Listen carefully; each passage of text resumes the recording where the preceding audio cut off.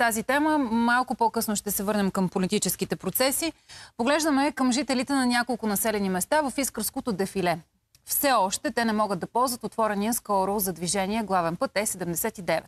Налага им се да минават пет пъти по-дълги маршрути. Защо? Има ли изобщо как проблемите да бъдат решени? Руми Попова се зае с тази тема и сега ще ни разкаже повече. Руми, здравей! Добро утро. Намирам се в началото на вече ремонтирания участък на главен път Е79 а, тук край Мездра. За да стигнат до общинския си център в Мездра, хората от село Ребърково, например, вместо да минат 5 км по ето това трасе, което е зад мен, трябва да изминат 30 км до Враца и да се върнат обратно до Мездра, разбира се, после по обратния път. Има и един земен път, буквално земен път през Крета, който традиционно вече се ползва, защото хората решиха, че така им е по-удобно. Той пък е дълъг 2 км и половина. Но така или иначе, хората от дефилето нямат достъп до главен път Е79. Защо? Питам кмета на община Мездра, Ивана Спарухов. Добро утро. Кажете ни защо. Добро утро след празнично. Чуха се много слухове, всъщност хиляди слухове за причините. Вие знаете ли какви са причините?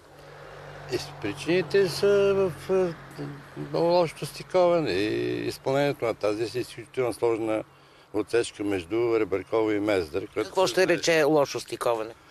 Лошо, защото трябваше да бъдат готови всички документи. По-рано се осигури е, възможност е, на строителите да извършват тези трудни строителни дейности. Взривявания, ново, е, нови възли, това са на Ребъркова възела.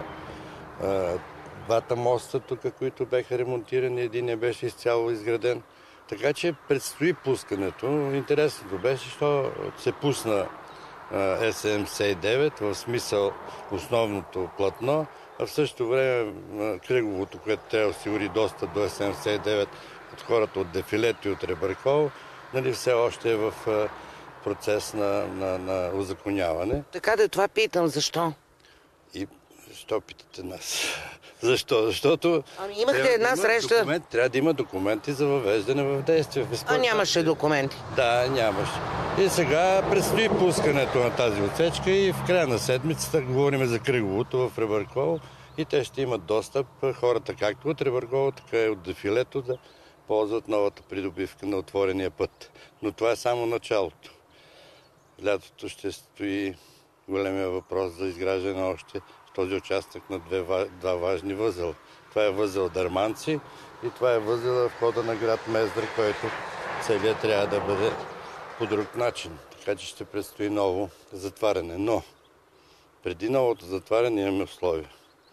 Първо тази отсечка, която успяхме да осигуриме между Ребърково и Крета, трябва да бъде ремонтирана. За сега е само с трошкамена настилка и с асфалтови изрезки. Тя републикански път ли е? Тя е местен път. Земен. Категория, да, местен път, който е най-къста отсечка, която беше предоставен като варианти за сервизен път и да може да се използва. Не можеше ли това да се направи още при а, началото, старта на ремонта на главен път Е79? Ние една година преди това предложихме този, този вариант да бъде ремонт. Това, което го направихме, но направихме съвместни усилия с изпълнител и с средства на общината. През тази отсечка, през този период, както беше спрен 3-4 месеци пътя основния, минаваха на ден между 6000 и 8000 превозни средства. А и казваха, че минават през бустаните на хората. И не са бустани сега. Бустани така, условно казано.